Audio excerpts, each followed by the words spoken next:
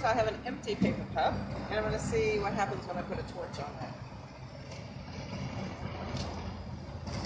We did it outside because we were kind of afraid of this consequence. Now we'll test the specific heat of water.